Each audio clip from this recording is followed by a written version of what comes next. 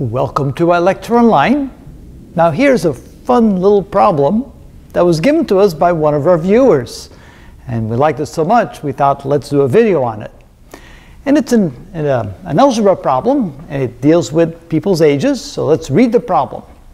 It says that Mary is 24 years old. Mary is twice as old as Ann was when Mary was as old as Ann is now.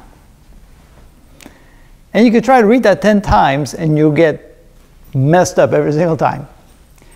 So there's really only one way to solve this problem. Now the question is, can you solve this? So give it a try. Stop the video and see if you can figure this out. And after a while, if you think you got it, or if you give up, then turn it on again and see how it should be done. So I went back to my old bag of tricks because we've solved a lot of problems with ages before, and none quite like this one. But the bag of tricks always seems to work. And so what we do is we say, well, what are the ages now?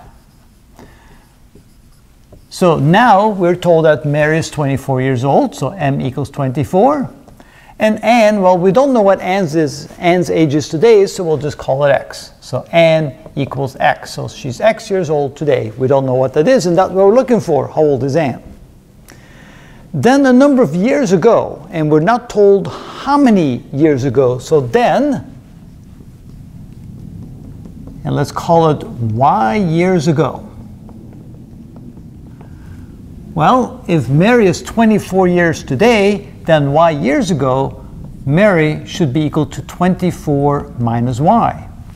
And Ann is x years old today, so Ann y years ago should be x minus y. So notice, uh, let me rewrite this y here. There we go. So notice there's two variables.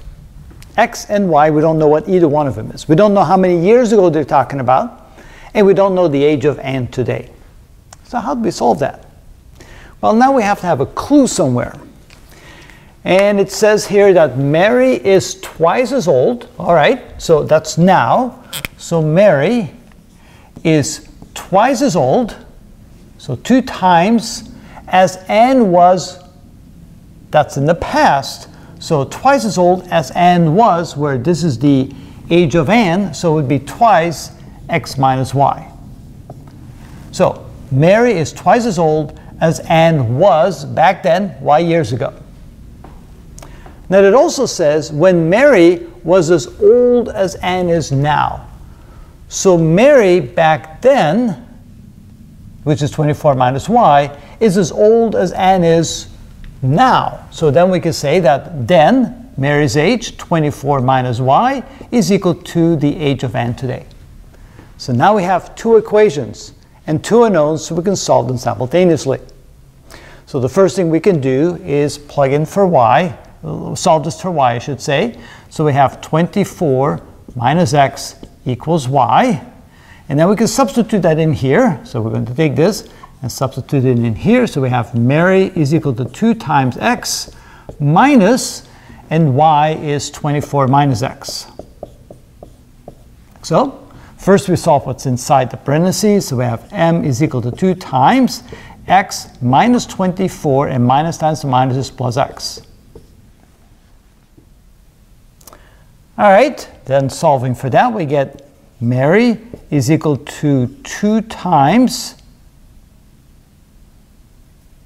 So we have 2x minus 24. So that means that Mary is equal to 4x minus 48. So that is the age of Mary today. So Mary is twice as old as Ann was back then. So Mary is twice as old as Ann is back then. Of course, Mary's age is 24. So we can now substitute. We have 24 equals 4x minus 48. So let's come over here, continue.